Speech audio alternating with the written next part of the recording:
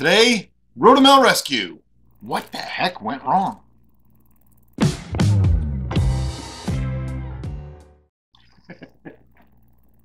right, guys. So we just did had our Rhodomel update the other day, and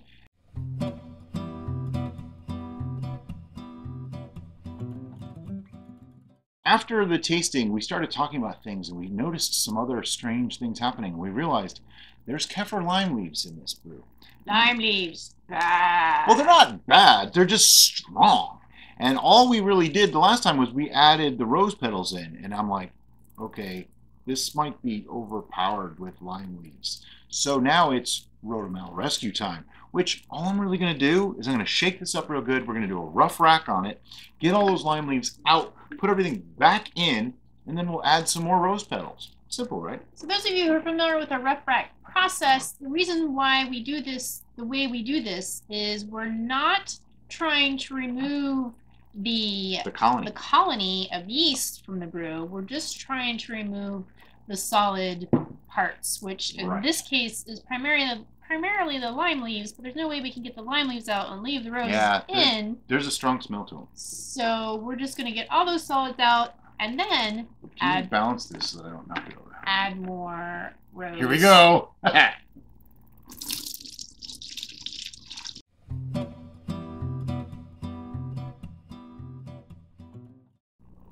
okay, now, because I got the colony out, there's no lees in here, I'm going to go rinse this guy out and get all the rest of the solid out of it. And that's why Brian shook it up real good before he poured because he wanted to get all the yeast that were Everybody. in there back into solution so that way it would end up here and not here.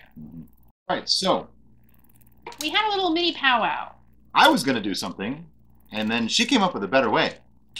We have found that pouring dry ingredients into a smallmouth fermenter require, requires a dry funnel because if you have a wet funnel, the dry ingredients are just going to stick to the sides there. So we need to pour this into there, but we also need to get those into there.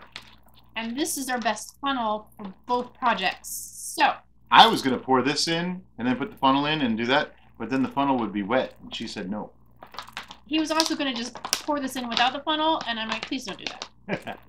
He probably could do it, to be honest, yeah. um, but I'd rather him use the funnel. All right. So here's what we're gonna do. I put the funnel on, tear this out. These are, these smell so amazing. The organic rose petals, there'll be a link below. And uh, I'm gonna use, we put a half an ounce in last time. I think it needs a lot of rose flavor at this point. I'm just afraid of it smelling like grandma's perfume. I'm gonna do half an ounce, and then we'll test it. When I look at this, I say, you know, that seems like a lot of rose petals for that since there's already been some in there that have already got in. So I think we're good. Now, I don't really know. I'm going to test that theory and we'll see what it does. Um, So some of you may have noticed that we had a chopstick out here, and you're probably wondering, what the heck was that for? Well, last time we poured in our rose petals, he just dumped them all in there, and it clogged up the funnel. So if you have a chopstick or a So I poured it slow. thin dowel or even a fondue stick, you can poke in there and get the stuff to come out without getting Get it all very dirty. skinny and fingers. Well, Joking. You don't really want to do that. All right, now I'm just going to pour this back in. Hopefully I can get it all back in there. A trick to doing this, if you hold the funnel totally straight, you might create um, a seal. You don't want to do that. So I tilt the funnel just a little bit so air can get through, and that way it doesn't uh, blow up at me. If you're worried about aeration, don't be. There's plenty of CO2 coming off of this, and we're still technically in a primary fermentation here, so it's not really that bad of a problem. if we were closer to the end of fermentation, this we, would are, definitely we, are, be. we are close to the end. I mean, it's not totally done done, but it's. Yes. I'm just saying, if we were Yeah. closer, then this would be a serious mm. issue right now. But I can also, as I'm doing this, on my hand, feel the air being forced out of this pitcher by the gases and the volume of the uh, the brew. It's pretty amazing. Kind of weird. I didn't expect that. All right, so I got it all in there. I want to try to get as much of this goop at the bottom as I can because that's kind of our colony-ish. All right. And now, I need to shake this up a little bit. So let's get the airlock and bung. Do we still have... We have the thumb saver bung. This does a couple of things, okay? The air was forced out, and you hear that? All that is gas coming out of this. It's totally forcing all the oxygen out. I want to get that off this high. Yeah, there's there's gas pushing the oxygen out. I'm really not worried about this at all. But what I am going to do is put the airlock right back on. All right, so I'm going to stick the airlock in here. All right.